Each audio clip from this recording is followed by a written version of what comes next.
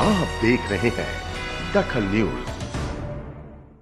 MP में चुनाव प्रचार के अंतिम दिन प्रदेश के सीएम शिवराज ने बड़ा मलरहा में चुनावी सभा ली।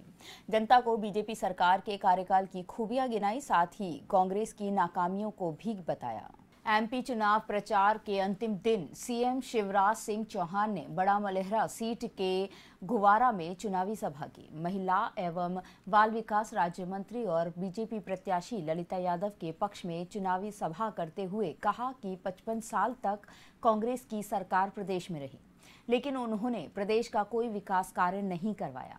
साथ ही सीएम शिवराज ने अपनी सरकार के 15 साल तारीफ़ करते हुए कहा कि इतना विकास कार्य करवाया कि कांग्रेस को गुस्सा आने लगा।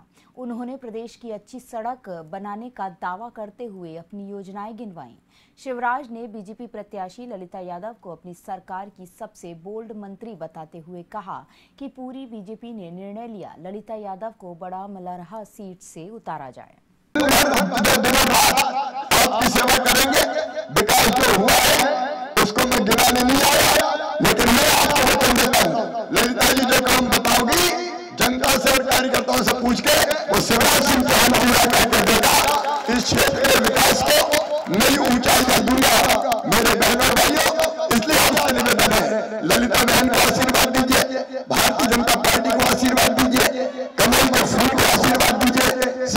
चौहान को आशीर्वाद दीजिए